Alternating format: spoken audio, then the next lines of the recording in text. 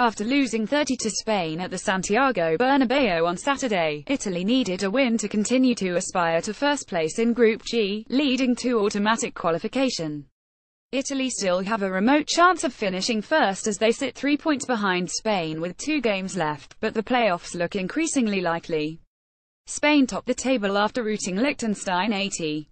The three points in the Mapei Stadium helped Italy consolidate second place in Group G, six points clear of third-placed Albania, who were held 11 by Macedonia.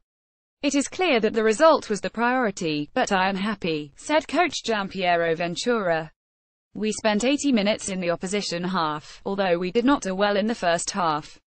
It is a small step that should convince us to do better.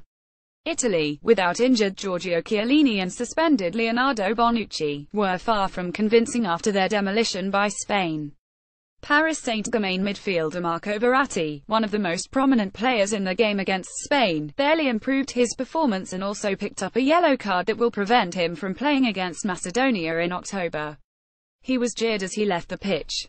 The hosts who could have pulled ahead from the first minute with Torino forward Andrea Bellotti sending right of Ariel Harush in the Israel goal. After the break Italy improved with a clear first chance for Immobile 48. Five minutes later the Lazio striker opened the scoring with a header from an excellent centre by Antonio Candreva. We needed a victory, it's a positive thing, it's a game that is unlocked by scoring fast, said Candreva.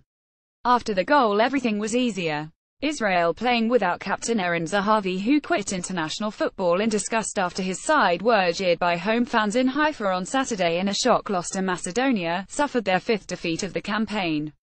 Italy next have games against Macedonia in Turin and Albania away in October. The last time Italy had to go through playoffs was in 1997 on the road to the 1998 World Cup in France.